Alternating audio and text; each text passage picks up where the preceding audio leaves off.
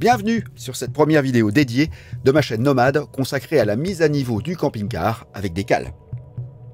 Mon autre chaîne, Didier Jérôme Toucourt, est psycho-spirituelle. Donc cette tendance à rechercher le bien-être, ses causes ainsi que ses conséquences à tous les niveaux colorera aussi cette chaîne-ci. Laquelle au départ peut sembler superficielle par rapport à l'autre, limitée au domaine du nomadisme en camping-car.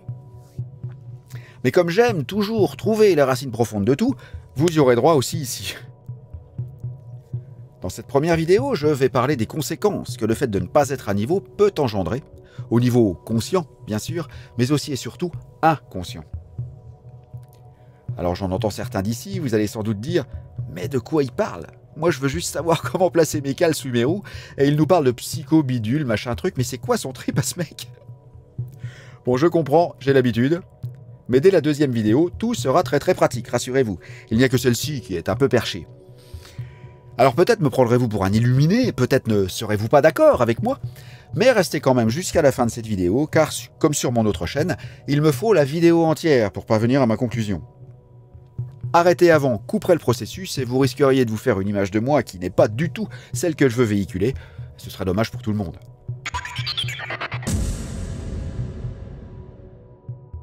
Lorsqu'on achète un camping-car ou un fourgon, c'est pour avoir le privilège de manger, dormir et autres partout comme chez soi.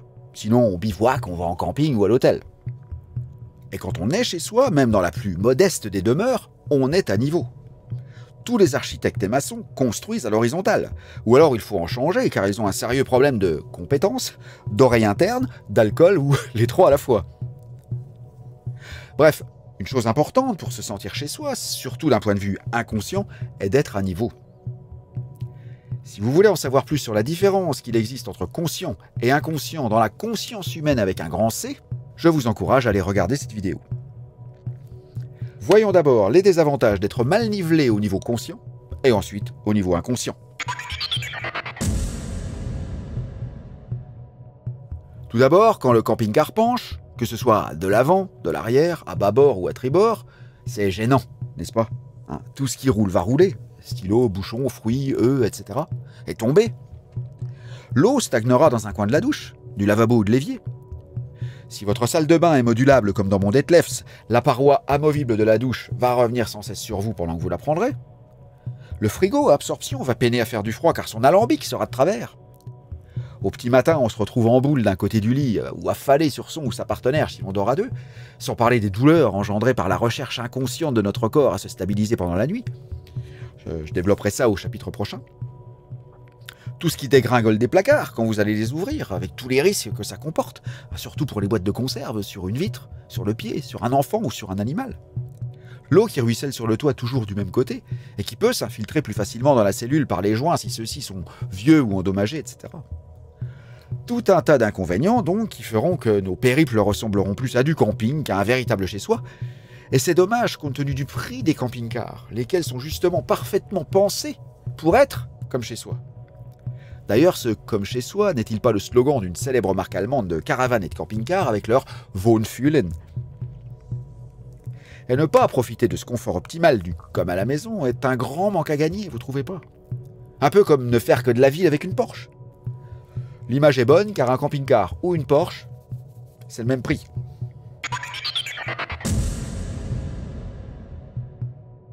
Alors pourquoi est-ce que je vous parle de problèmes subconscients ou inconscients? C'est la même chose. Du dénivelé.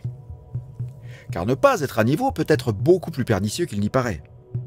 D'un point de vue strictement conscient, comme nous venons de le voir, être à niveau est synonyme de confort. C'est bien de ne pas pencher lorsqu'on mange, lorsqu'on dort, etc. Donc consciemment, on parle de confort. Ne pas être à niveau est inconfortable. Et rien que cela, pour certains, c'est suffisant pour se donner la peine de sortir ses cales et les placer, même pour le temps d'un simple repas sur le bord de la route. Mais le fait de ne pas être à niveau est aussi et surtout gênant et pernicieux au niveau inconscient. Pourquoi? Car ça perturbe la mécanique interne. Bien que beaucoup s'accommodent du fait d'être bancal dans leur fourgon ou camping-car, car ils se disent que c'est juste pour un repas ou pour une nuit.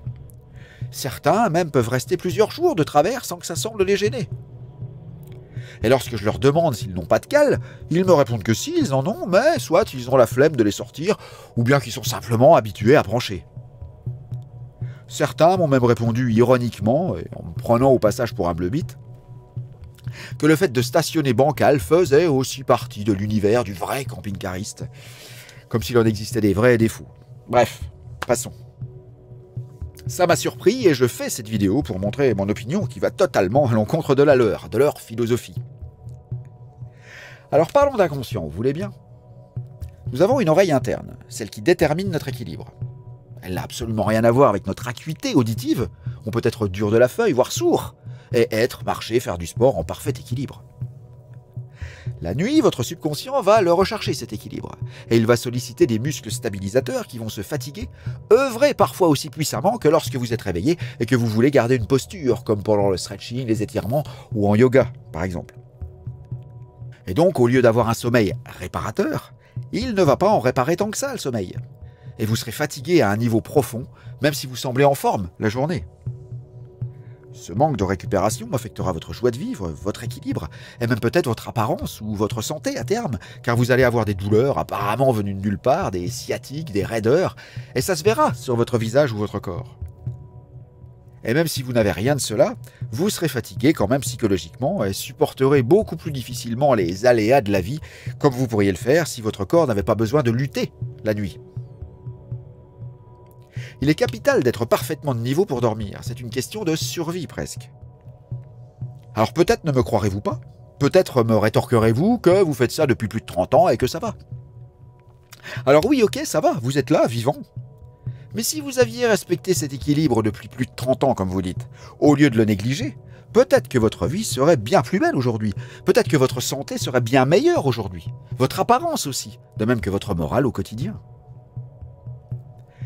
Et je continue en disant que ce n'est pas parce qu'on fait la même bêtise depuis 30 ans et qu'on y a survécu que ce n'est pas une de bêtise. On le voit aujourd'hui avec l'amiante. Et pour continuer sur cette notion d'équilibre, comme dans tout ce qu'elle fait, la nature a horreur du vide et passe son temps à chercher à le combler. Et un des corollaires de ce vide est le manque d'équilibre, car manquer d'équilibre est manquer de force d'un côté ou de l'autre pour être stabilisé. Il y a donc un vide d'un côté ou de l'autre. Partout, dans tout ce qu'on fait, on recherche l'équilibre inconsciemment. Il n'y a qu'en position équilibrée que l'on peut vraiment être performant ou récupérer à 100% comme nous l'avons vu avec le sommeil. Donc si l'on n'est pas en équilibre, notre inconscient va dépenser de l'énergie pour faire en sorte que nous y accédions de nouveau. Il va faire en sorte de nous placer dans des positions plus fatigantes, avoir des comportements plus fatigants pour se stabiliser. Et cette énergie, vous ne l'aurez plus, vous ne pourrez plus la mettre dans d'autres domaines importants pour vous, les loisirs par exemple.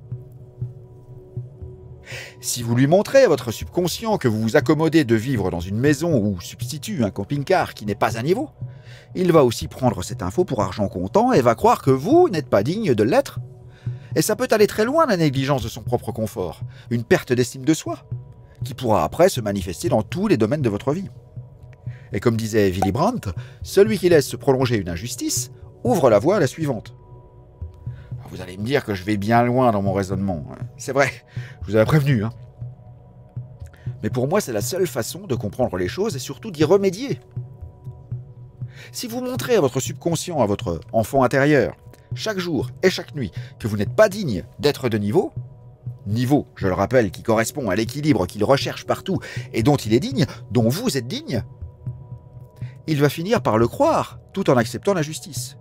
Car il n'a pas la faculté de raisonner, lui. Il prend tout pour argent comptant. Donc vous allez vous dénigrer inconsciemment de la base de toute vie saine, de toute vie équilibrée.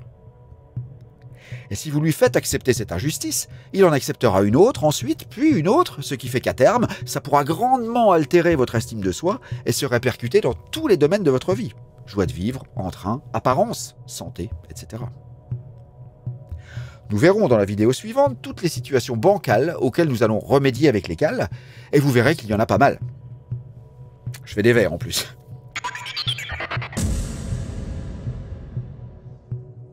Mont Ursule plonge naturellement vers l'avant. Ça veut dire que même sur une surface parfaitement plane ou de niveau, il ne sera pas de niveau.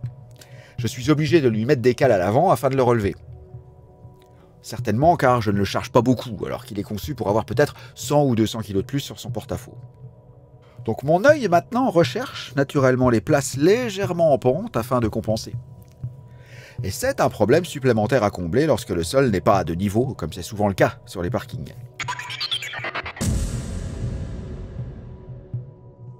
Vous avez vu mon côté épicurien. Hein, je recherche des solutions à tout et surtout le bien-être partout. Bien-être dont tout ce qui vit sur Terre est digne. Même les camping-caristes. Donc après cette petite introduction psycho-machin, abordons le côté très pratique en passant en revue beaucoup de situations où les cales sont nécessaires, et c'est pratiquement tout le temps. Il m'est arrivé, oui, de trouver des emplacements parfaits pour mon Ursule, donc naturellement un peu en pente pour compenser son déséquilibre naturel, mais ça doit être 1 sur 20, même pas. Bref, tout ça pour dire que vous aurez besoin de cales pratiquement à chaque fois. Et à force, vous aurez l'œil aussi. Lorsque vous arriverez sur une aire, vous saurez tout de suite dans quel sens vous garez et où il vous faudra placer les cales, à droite, à gauche, devant, derrière, plus à droite qu'à gauche, etc. Et avec l'habitude, en deux temps, trois mouvements, vous serez de niveau et pourrez vivre comme à la maison. Je vous encourage à me laisser un pouce vers le haut, à vous abonner en cliquant ensuite sur la petite cloche, puis sur toutes les notifications, pour être informé de mes futures publications, notamment la vidéo pratique sur comment placer les cales qui va suivre. Être informé de mes séminaires en direct aussi, comme je le fais déjà chaque premier dimanche du mois sur mon autre chaîne. À commenter avec votre opinion personnelle sur le fait d'être à niveau ou pas. Puis à partager avec tous ceux et celles qui disent se moquer d'être bancal sans savoir l'impact que ça a non seulement sur leur confort, mais aussi sur leur vie intérieure. Et si vous n'avez pas aimé cette vidéo, partagez avec les gens que vous n'aimez pas. Si vous êtes intéressé par mon autre côté psychospirituel, je vous encourage à aller visiter ma chaîne principale et à vous y abonner aussi, pourquoi pas ainsi que ma boutique en ligne où je crée, écris et compose moi-même des méditations pour aller vers le bien-être, en passant par retrouver son poids idéal sans effort, juste en plaçant son casque sur les oreilles. Je vous souhaite l'équilibre dans tous les sens du terme.